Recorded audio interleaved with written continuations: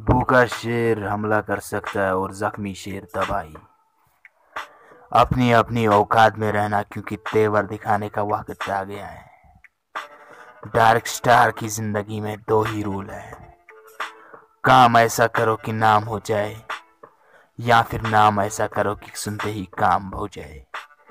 पीठ पीछे कौन क्या बोलता है, फ़र्क नहीं पड़ता। सामने से किसी का मुँह नहीं खुलता। इतना काफ़ी है।